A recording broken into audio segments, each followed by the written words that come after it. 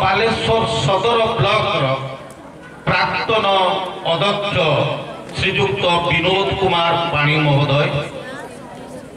ଆଜି ସମ୍ମାନିତ ଅତିଥି ରୂପେ ଏବଂ ବକ୍ତା ରୂପେ ଯୋଗଦାନ କରିଥିବା ମୋର ଅତି ଶ୍ରଦ୍ଧେୟ ବନ୍ଧୁ କବି ପ୍ରଶାନ୍ତ ଦାସ ଯିଏକି କିଛି ସମୟ ପୂର୍ବରୁ ଆପଣମାନଙ୍କଠାରୁ ବିଦାୟ ନେଇଛନ୍ତି এবং মঞ্চ উপরে উপবেশন করিଥିବା এই মহাবিদ্যালয়ের জন্মতিথি ঠারু এ পর্যন্ত আলিঙ্গনবদ্ধ হয়ে রহিথিবা Balaram sir ফটুয়া sir Batakrishna Mohanty sir Lambodar Pradhan sir এবং ମୋ ଆଗରେ ବସିଥିବା ଜଣେ ବୟସ୍କ ବନ୍ଧୁ ଶିକ୍ଷକ ଚତୁର୍ଭୁଜ ବାବୁ ମୋ ପୂର୍ବରୁ ଯୋଉ ବକ୍ତା ବାହାବଳପୁର ପଞ୍ଚାୟତର ସରପଞ୍ଚ ଯୋଉ ଦେଇଥିଲେ ସେ ମଧ୍ୟ ମୋ ସାମ୍ନାରେ ବସିଛନ୍ତି ଏବଂ ସର୍ବୋପରି ମହାବିଦ୍ୟାଳୟର ତେନ୍ତୁଡ଼ିଶାଳରୁ କୁଆଁ କୁଆଁ ରାବ ଦେଇ ଯେତେବେଳେ ଏ ମହାବିଦ୍ୟାଳୟଟି ଜନ୍ମ ନେଲା ତାକୁ ଗୋଟିଏ ଥାଇ ରୂପେ ପ୍ରତିପାଳିତ କରିଥିବା ଶାନ୍ତିଲତା କଲେଜ କୁଇଟିକିର ପ୍ରାଧ୍ୟାପକ ବନ୍ଧୁ ଶ୍ରୀଯୁକ୍ତ ତରଣୀ ସେନ୍ ଜେନା ମହୋଦୟ ମୋ ସାମ୍ନାରେ ବସିଥିବା ଏ ଅଞ୍ଚଳର ସମସ୍ତ ପ୍ରାଜ୍ଞ ବିଜ୍ଞ ଅଭିଭାବକଗଣ ଆମମାନଙ୍କର ଏ ଅଞ୍ଚଳର ସର୍ବୋପରି ବାଲେଶ୍ୱର ଜିଲ୍ଲାର ଅଭିଭାବକମାନେ ଏବଂ ମୋ ସାମ୍ନାରେ ବସିଥିବା ଏ ମହାବିଦ୍ୟାଳୟର ତରୁଣ ବିଦ୍ୟାର୍ଥୀଗଣ ଏ ମହାବିଦ୍ୟାଳୟର ସମସ୍ତ ଅଧ୍ୟାପକ ଅଧ୍ୟାପିକାଗଣ ମହାବିଦ୍ୟାଳୟର ସମସ୍ତ ଅଣଶିକ୍ଷକ କର୍ମଚାରୀ এবং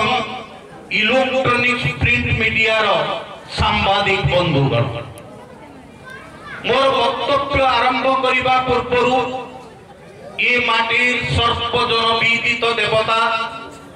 আরাধ্য দেবতা ব্রজমোহনকু মু ভক্তি ভরে প্রণাম জনাওছি কথাটি মু আরম্ভ করুছি মোর বক্তব্য মো বক্তব্য পূর্ব ଯେଉଁ ସରପଞ୍ଚ ମହୋଦୟ ତାଙ୍କର ବକ୍ତବ୍ୟ ରଖିଥିଲେ ମହାଭାରତର ଦ୍ରୋଣଙ୍କ କଥା କହୁଥିଲେ ସେଇ ମହାଭାରତର ଗୋଟିଏ କାହାଣୀରୁ ମୁଁ ମୋର ବକ୍ତବ୍ୟ ଆରମ୍ଭ କରିବି ପିଲାମାନେ ପିଲାମାନଙ୍କ ପାଇଁ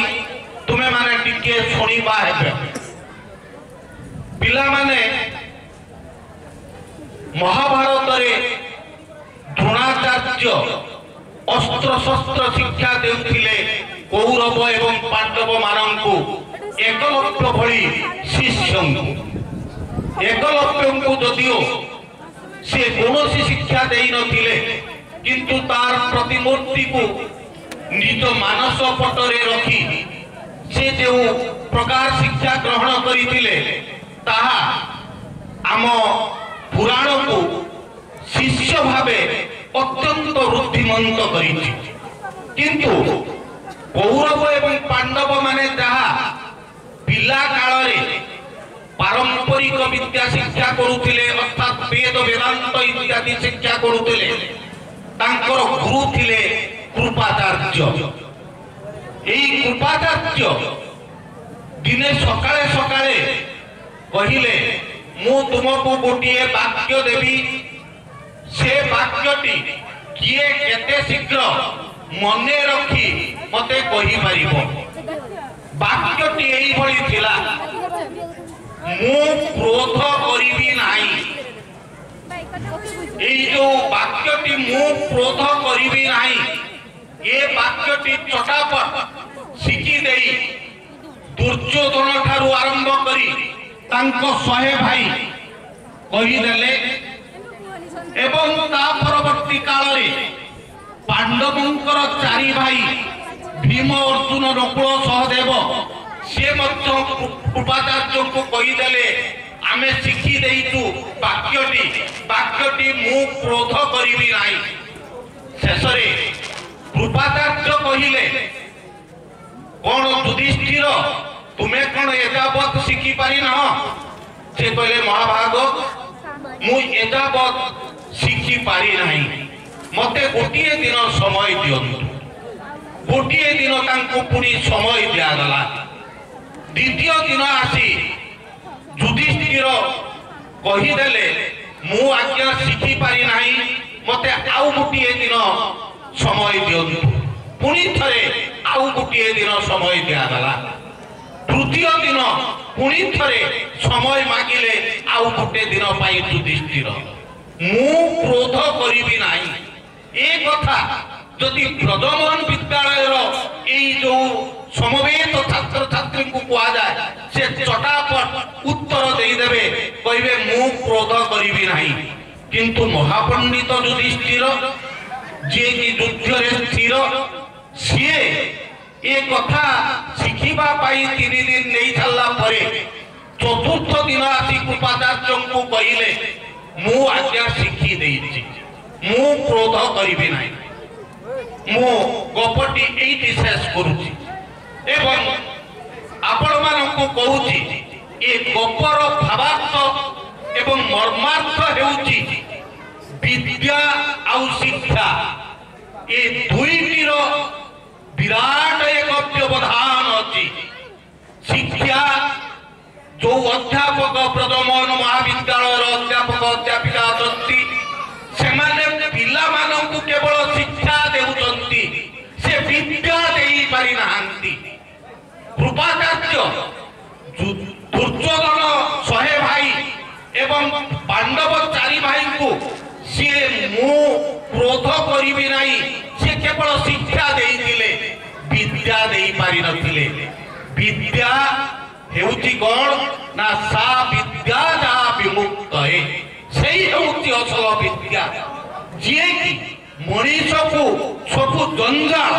ସବୁ ଜିଜ୍ଞାସାରୁ ମୁକ୍ତି ପ୍ରଦାନ କରିବ ଯୁଧିଷ୍ଠିର ତାଙ୍କ ଚେତନା ଭିତରେ ଅନ୍ତର ଭିତରେ ମୁଁ କ୍ରୋଧ କରିବି ନାହିଁ ତାକୁ ପ୍ରାକ୍ଟିସ୍ ତିନି ଦିନ ଧରି କରୁଥିଲେ ଏବଂ ତାକୁ ତାଙ୍କ ଜୀବନ କାଳ ଭିତରେ ପ୍ରମାଣିତ କରିଯାଇଛନ୍ତି কিন্তু মুক্রোধ করবি না সেন্টেন্সটি বাক্যটি শিক্ষা দেই শিক্ষা গ্রহণ করে সারা পরে অর্থাৎ শিখি সারা পরে কিন্তু সবু ক্ষেত্রে পরিবার ক্ষেত্রে বাপাঙ্ক উপরে ক্রোধ করা ভাইঙ্ক উপরে ক্রোধ করা পত্নীঙ্ক উপরে ক্রোধ করা স্বামীঙ্ক উপরে ক্রোধ করা এই কথাটি পর্যাপ্ত পরিমাণরে আজ একবিংশ শতাব্দীর দ্বিতীয় দশকরে দেখা যাচ্ছে ତେଣୁ ପିଲାମାନେ ଅସଲ ବିଦ୍ୟାକୁ ଆୟତ୍ତ କରିବା ପାଇଁ ଯୁଧିଷ୍ଠିର ରୂପକ ଚେତନାକୁ ତୁମକୁ ନେବାକୁ ପଡ଼ିବ ଏବଂ ସେଇଠି ବ୍ରଜମୋହନ ମହାବିଦ୍ୟାଳୟର ଛାତ୍ରଛାତ୍ରୀମାନେ ଉପଯୁକ୍ତ ବୋଲି ତାରିଣୀ ବାବୁ ତରଣୀ ସେନ୍ ଜେନା বা অন্যান্য বয়োবৃদ্ধ জনতা সেমানে যে স্বপ্ন দেখিছেন নিজ মাটির দেবতা প্রদমন নামরে নামিত করেছেন সে পিলাঙ্কু উত্তীর্ণ বয়সরে যেতবে অসল বিদ্যা আহরণ করেছেন বলি দেখিপারে অন্ত মন খুশি তাঁকর অজস্র শ্রম অর্থ সার্থক হয়েছি বলে বুঝা দ্বিতীয় কথাটি মুখি দ্বিতীয় কথাটি এইপরি লা মু আজি ବେଶୀ ଖୁସି ହେଉଛି ଯେ ବ୍ରଜମୋହନ ମହାବିଦ୍ୟାଳୟର ଛାତ୍ରଛାତ୍ରୀ ଶୃଙ୍ଖଳା ରୂପକ ଜ୍ଞାନକୁ ଅନ୍ତ ଆହରଣ କରିଛନ୍ତି ଏହି ପରିପ୍ରେକ୍ଷୀରେ ରାମାୟଣର ଗୋଟିଏ ଗପ ଛୁଟିଆ ଗପଟିଏ ମୋର ମନେ ପଡ଼ୁଛି ଗପଟି ଏହିଭଳି ଥିଲା ରାମଚନ୍ଦ୍ର ପିତୃସତ୍ୟ ପାଳନ କରି ଚଉଦ ବର୍ଷ ବନବାସ ଯାଇଥିଲେ ତାଙ୍କର ବନବାସ କାଳରେ ସେ ପାହାଡ଼ର ସାନ୍ ପ୍ରଦେଶରେ ଝରଣା ଯେଉଁଠାରେ ପ୍ରବାହିତ ହେଉଥିବ ସେଇଠାରେ ଗୋଟିଏ ପର୍ଣ୍ଣ କୁଟୀର କରି ନିଜ ଭାଇ ଲକ୍ଷ୍ମଣ ଅନୁଜ ଲକ୍ଷ୍ମଣ ଏବଂ ସ୍ତ୍ରୀ ସୀତାଙ୍କୁ ନେଇ ବସବାସ କରୁଥିଲେ ଏକଦା ସେହିଭଳି ଏକ ସମ୍ମାନ ପର୍ବତ ଶ୍ରେଣୀରେ ଯେତେବେଳେ ବସବାସ କରୁଥିଲେ ପର୍ଣ୍ଣ କୁଟୀରରେ ରାମଚନ୍ଦ୍ର ସେତେବେଳେ ସୀତା ଦେବୀ ସକାଳ ହେଇ ଝରଣା କୂଳକୁ ଯାଇଛନ୍ତି ସେ ଗାଧୋଇବା ପାଇଁ ଝରଣା କୂଳକୁ ଯାଇଛନ୍ତି ଏବଂ ଅନୁଜ ଲକ୍ଷ୍ମଣ ସେ ଯାଇଛନ୍ତି ଦିନ ଯାକର ଯୋଉ ଖାଦ୍ୟ କିଛି ଜଙ୍ଗଲରୁ ଫଳ ଫଳ ସଂଗ୍ରହ କରିବା ପାଇଁ